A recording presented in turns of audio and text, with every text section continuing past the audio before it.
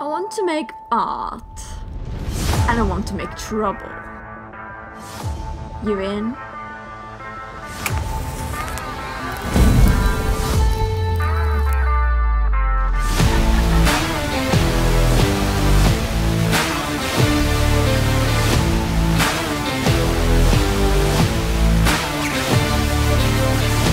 Jumping straight into it, I'm going to start with a pale foundation. I'm using Jouer because it's really high coverage. It's important to use a high coverage foundation when going lighter than your skin tone, otherwise there's a risk of looking blotchy where your skin color shows through. Because the eyeshadow kind of goes into the eyebrows, I'm going to do the eyebrows next. I'm using MAC eyebrow pencil in Stud, which is a dark, dark brown. So after looking at pictures of her, it seems like her arch is about here, like towards the end of the eye, after the pupil a little bit squared off at the start of the eyebrow. I'm making them a little bit thicker than my own eyebrows, going up to the arch.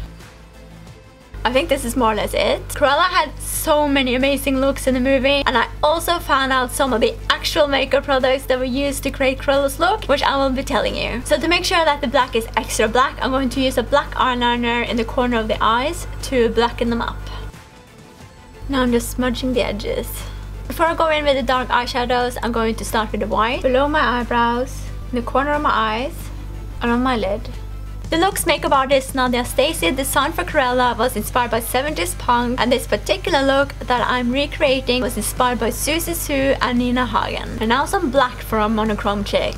The eyeshadow palette the makeup artist actually used in the movie is In the Flesh by MAC. I'm now going in with a dark grey and it's Bobbi Brown in Steel. And then I'm using it just below the beginning of my eyebrow and this is like a classic thing that they used to do in 70s punk. Classic Siouxsie Sioux look. I'm just connecting the grey and the black. Next I'm going in with some black gel eyeliner. I'm using Inglot in 77. And a bit of black eyeshadow over the top. I'm then going into my waterline using MAC Eye Kohl pencil in Smolder, which is also the same one that they used in the movie. You can find all the products listed in the description.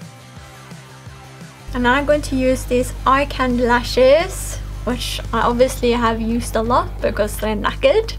So excuse them. My favorite eyelash glue to use is the Duo Strip Lash Adhesive and I like to use the dark tone, especially when it's like a look like this because it dries black had so much planned for Halloween, but of course managed to get a concussion during the most wonderful time of the year in makeup land. I will do my best to do one more video for Halloween and I will give you a hint of what it's about later on. So now I'm going to do contouring and I'm going to be using the Note Cosmetics contouring cream palette, light to medium. But if you want to be completely true to the movie and use the exact one that they used on Emma Stone, the one that they used was MAC Sculpt and Shape Contour Palette. I'm gonna contour my feature to be more like Emma Stone's features. She has a pretty matte look, so make sure to powder well. There's so many bits coming off from this brush.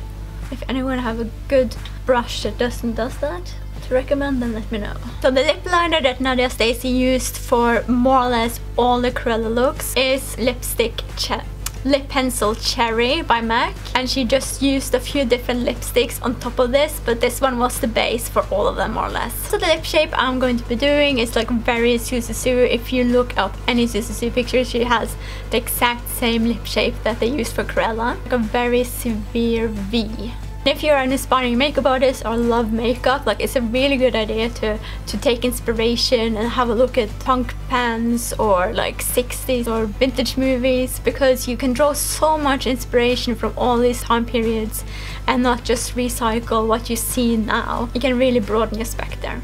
You say broaden your spectre? Yeah? Spectrum. So, okay. Yeah, spectre is a ghost. okay.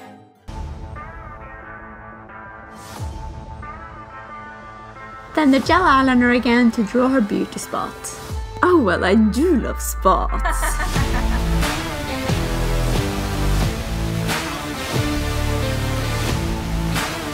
If you enjoyed this video, I'd love it if you give it a thumbs up and hit that subscribe button as it will enable you to see all my future videos and it will also support me as a creator to continue making videos. So I actually have a hidden clue about my next video at some point throughout this video. So let me know in the comments if you can find it. Thanks for watching!